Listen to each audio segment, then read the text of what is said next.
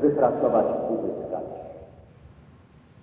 Bo też ta chwila, kiedy jakby zawołałaś mnie tutaj, była szczególna, bo to zaledwie półtora miesiąca minęło od przyjścia na nową parafię, kiedy trzeba było wziąć jakoś na ramiona swoje wraz z Wami, kochani, to co wtedy stało. Stan wojenny. Dla Boga nie ma rzeczy przypadkowych. Na pewno. Wszystko ma swój sens. Wszystko ma swój cel. Nieraz bardzo odległymi, długimi drogami, okrężnymi jakby Bóg prowadzi do celu. Więc myślę, że i to moje przyjście do tej parafii w tamtym czasie miało swój jakiś. Świadom jestem, że uchybień po drodze nie brakło. Stąd ta prośba, Matko, przebłagaj. Matko, przeproś i uzupełnij to, czego brakowało.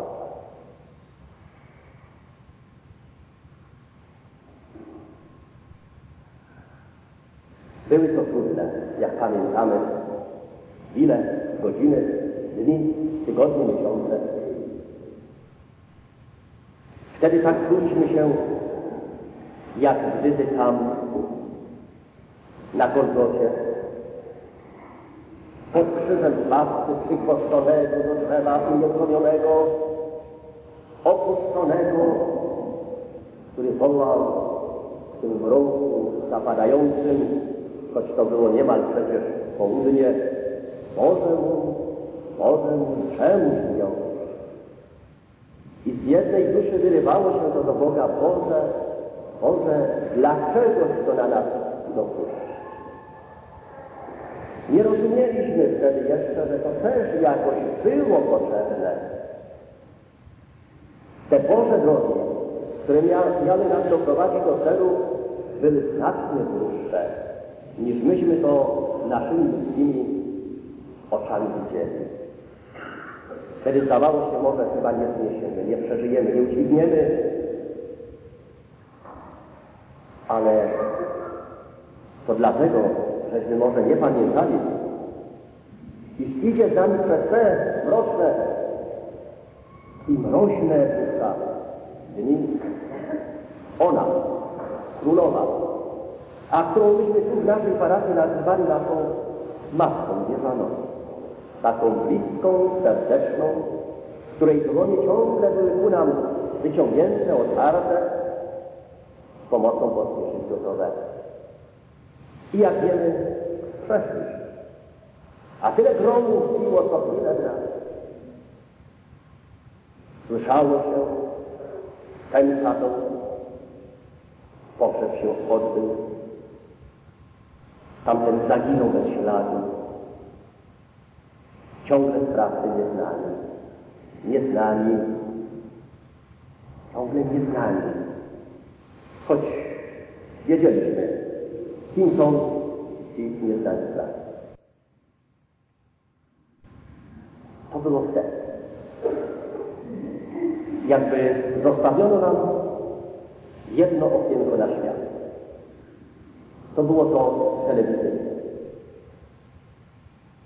którym nas nieustannie obrażano każdym słowem.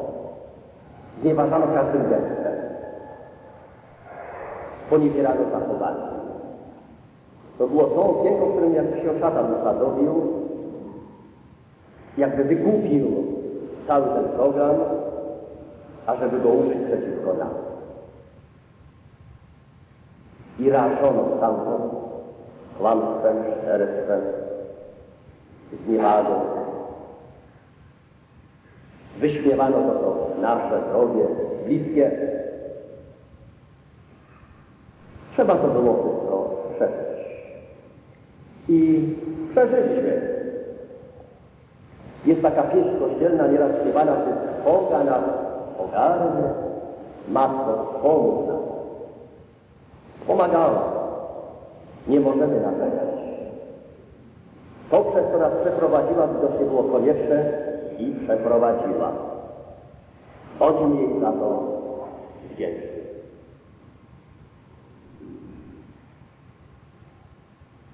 Nam w tamtych tygodniach, a później miesiącach, można by powiedzieć, zbudował barykady. I za nich się bronił. Ileż tych barykad powstało no powiedzmy to dosłownie, w kościołach, świątyniach. Do tych świątyń przychodziliśmy, aby jakoś inaczej popatrzeć na świat. Aby zrozumieć, że ta Golgota jest potrzebna. Tak jak tamta Golgota była potrzebna. Bez niej nie byłoby zmartwychwstania, bez niej nie byłoby odkupienia. I ta potrzebną była, choć tak się trudno wtedy z tym było pogodzić. Przeżywaliśmy wspaniale dni jesienia, kiedy papieżem został po raz pierwszy w dziejach Kościoła i naszych dziejach Polak. To była nasza góra przemienienia Tabor. Wtedy nie uświadamialiśmy sobie, że przyjdzie po tym taborze i Golgota. Przyszła. A więc i ta góra Tabor była potrzebna, aby nas umocnić, aby nas energią napełnić taką, która nas przez ten szczyt Golgoty przeprowadzi. Wiemy, że powołał Bóg prymasa tysiąclecia. I właśnie ten poranek 13 grudnia, mroźny, zimowy, drogi nam wszystkim, myśleliśmy, Panie, dlaczego? Gdyby On był, On był, byłoby nam łatwiej. Panie, dlaczego? Nie odpowiedział Pan wtedy, odpowiedział później. I te odpowiedzi znamy dlaczego. Ale na ten 13 grudnia pozostał nam ten człowiek wielki, który przyjmie dzień po dniu, chwila po chwili, za nas stawał przed Bogiem, sercem rozszarzonym modlitwą i prosił i błagał i napominał ludzi na swoją i naszą ojczyznę wskazując. To było wszystko, kochani, potrzebne. Jak wspaniałą całość. My to dzisiaj widzimy z perspektywy. Wszystko to się układało. I nasza świątynia w tym wszystkim miała swój wkład. I w naszej świątyni zaczęliśmy się gromadzić na msze święte za ojczyznę. Chociaż nawet z początku tak nie nazywaliśmy. Pierwsze takie zgromadzenie się nas wypadło 3 stycznia, w niedzielę 82 roku. To były msze święte koncelebrowane. Trzy w ciągu dnia, w ciągu niedzieli. To był jakby zaczątek tych mszy świętych za ojczyznę. To było to składanie Bogu dziękczynienia za dobro doznane przez nas. To było wynagradzanie za zło naszych zdrajców. I to była ta gorąca prośba, Ojcze, nie opuść i nie opuść. Choć chwile były trudne, wiemy, że to ziarno, które wpadło w ziemię wtedy, powoli pęczniało od krwi. Wdeptane zostało w ziemię piętą Polaka Kaina. I nabrzmiewało to podział. O męczeństwo niewinną. Zakorzeniało się w tej ziemi. I zaczynało bardzo nieśmiało początkowo, ale zielenieć na ziemi. I zaowocowało tym, co przeżywamy dzisiaj. To były tamte. To były te nasze spotkania na mszach świętych za ojczyznę. I kochani, idąc jakby tak po tych stopniach mszy świętej, ojczyźnianej co miesiąc, dochodzimy do chwili, którą dzisiaj wspominamy, do protestu głodowego. Kiedy tu w tej świątyni zebrali się ludzie gotowi pocierpieć dla ojczyzny, dla Kościoła, dla naszej narodowej, ale i Bożej sprawy. I trwał ten proces. Wspominamy panią Annę Walentynowicz, która temu procesowi głodowemu nadała jakiś bardzo głęboki charakter. To jej zawdzięczaliśmy to, że dzień po dniu wypełniał się modlitwą tych protestujących głodem, że ci ludzie szli dzień w dzień na mszę świętą, że przystępowali do komunii świętej, że tylu spośród głodujących, protestujących głodem odszukiwało na powrót Boga. Bo drogi tych ludzi nieraz były bardzo kręte. Ścieżki, które gdzieś obok tej Bożej drogi prowadziły, a wtedy w tym skupieniu protestu głodowego odnajdywali tę niezgodność swojej drogi drogą Bożą i wchodzili na nią. Ileż to sumień się wtedy otwierało w konfesjonale i ci ludzie odzyskiwali radość, odzyskiwali Boga. I patrząc na to, no jak było mi powiedzieć, że ten proces jest potrzebny, że on jakoś z Boga się zrodził.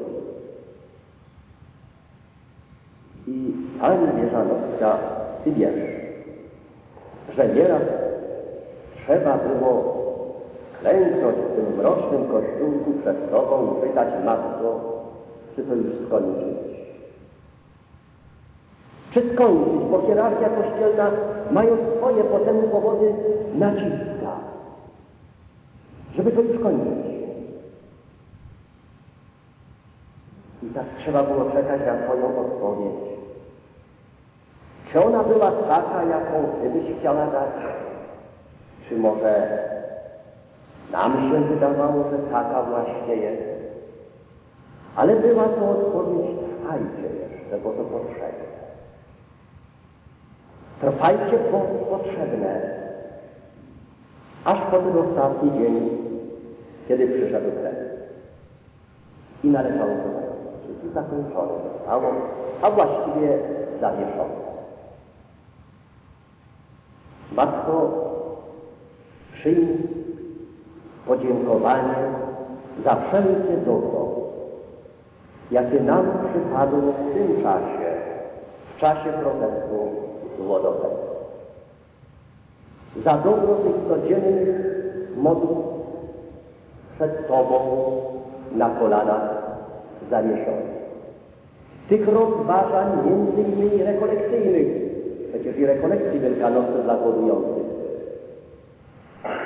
Dzięki Ci, Matko, za te wszystkie powroty zbłąkanych do jedności z Twoim Synem. I przyjm, Matko, przebłaganie za to wszystko, czego zabrakło, bo wszystko, co ludzkie, niedoskonale.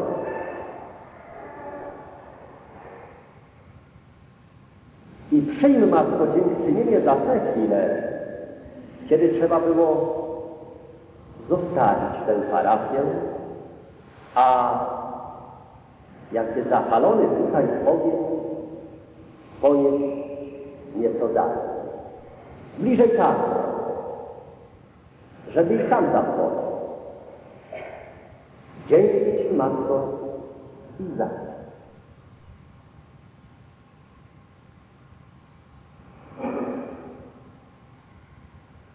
Ale gdy wspominamy to wszystko, to pomyślimy i słusznie, że to jest wszystko wczoraj. To jest to, co było, co minęło. A co na dzisiaj i co na jutro? Właśnie. Co na dzisiaj? Gdy tak wyciszamy naszą duszę i patrzymy na Ciebie, Matko Wieżanowska, nasza królowo, to tak jakbyśmy słyszeli Twoje słowa z Kany Galilejskiej. Czyńcie wszystko, cokolwiek Wam Syn mój powie. To takie znane, czy tylko tyle pomyślimy? Kochani, nic więcej. Od czasów Kany Galilejskiej te same słowa, ciągle te same, kieruje do wyznawców Chrystusa jego matka. Czyńcie wszystko, cokolwiek wam syn mój powie, a każde pokolenie swoją własną treścią. Te słowa to wskazanie napełnia. To tak jakby matka mówiła na dzisiaj, budujcie solidarność od nowa, budujcie jedność narodu. Odbierzcie tę solidarność z ręki tych, którzy handlują ją na jarmarkach. Bo to świętość i tym się kupczyć nie da, a przynajmniej nie powinno. Likwidujcie handlarzy Solidarności.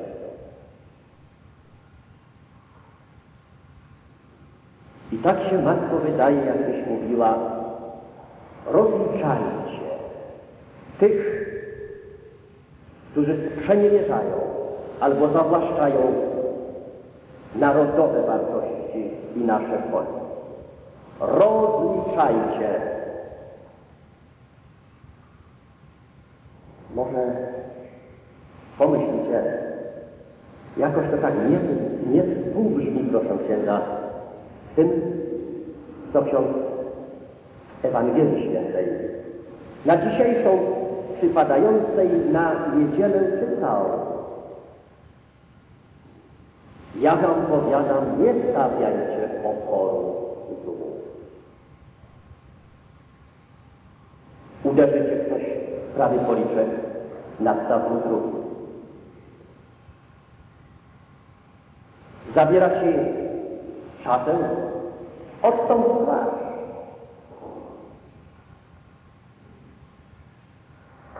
Czy w takim razie rzeczywiście rozliczać?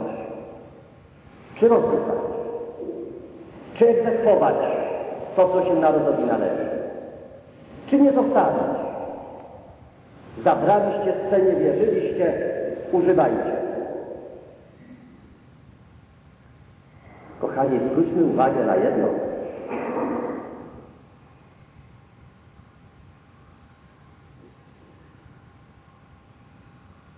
Kto chce ci wziąć Twoją szatę, Twoją, odstąp mu. Cóż, może Ale czy wolno odstąpić płaszcz matki Twojej, gdyby ją ktoś odcierał z jej szaty? Czy Ci wolno?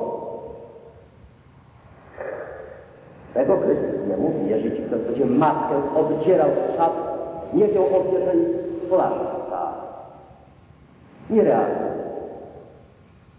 W odniesieniu do siebie możesz, wolność, pojedynczo, indywidualnie.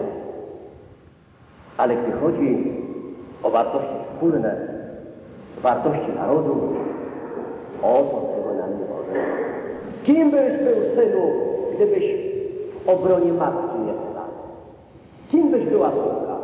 Córko, gdybyś obawie o własną skórę naraziła matkę. A więc, kochani, weźmijmy to i przemyślmy. Bo się dzisiaj tak często mówi, nie polujmy na czarownicę. Słusznie.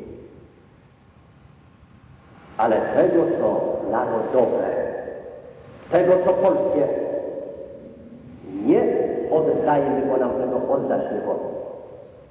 Swoje wolność.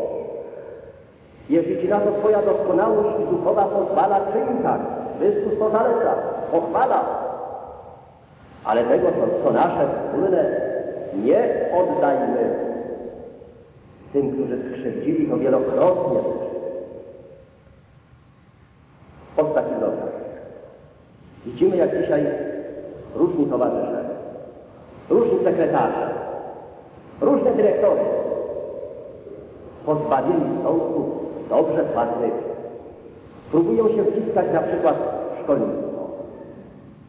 I okazuje się, że nagle sekretarz, który lat tyle był sekretarzem po moskiewskich szkołach, zapałał całym sercem, żeby być pedagogiem i ojczystej historii dziadków polskiego. Mało takich jest. I słyszy się głos taki, nie polujmy na czarownicę, dajmy tym ludziom spokój. Tak, naprawdę tak. Ci, którzy tak krzywdzili przez tyle lat, czy mogą krzywdzić dalej? Czy my wtedy mamy być obojętni jeszcze się bluźnierczo na Ewangelium powoływali? To tylko jeden przykład. A tych przykładów można by mnożyć, mnożyć, mnożyć, mnożyć. A więc, Matko, dzięki Ci za to przypomnienie, żebyśmy naszego lenistwa nie ubierali w szaty cnoty, żebyśmy się nie dali krzykaczom zakrzyczeć. I nie bójmy się tego, że nam powiedzą wstecznicy, zacofani. Jakim prawem? Jakim prawem to my Moją szatę nawet ostatnią oddać mogę, ale od szaty matki mojej to wam dam. A szatą naszej matki ojczyzny jest to wszystko, co nam wypracowywał, a co na naszych oczach się jeszcze rozgraja. Przemyślmy. Naprawdę przemyślmy. Wyciągnijmy wnioski. I nie do domu jakiej złotej jesieni nas teraz nasza matka prosi odpocznijcie dziadeczki, boście się napracowali w tym okresie, tylko nas mobilizuje na front. Może już trochę weteranów, ale na front. By tego, co zagrożone bronić. By, jeśli zajdzie potrzeba, na swoje plecy jeszcze nawet jakąś pałką przyjąć. Obronie tego, co nasze, co polskie, czego nam oddać nie mogą. Może nie tego byśmy sobie dzisiaj życzyli. Już naprawdę trochę tego spokoju. Chcielibyśmy spokojnie patrzeć, jak młodsi przejmują dziedzictwo od starszych i nie wypaczają tej linii. A tu widać te różne dewiacje. Człowiek z lękiem patrzy, myśli, to o to chodziło. Czy nie zaprzepaszczą, nie zmarnują tego. I gdyby to były jakieś ręce młodsze, ale źle kierujące, to trzeba je odsunąć.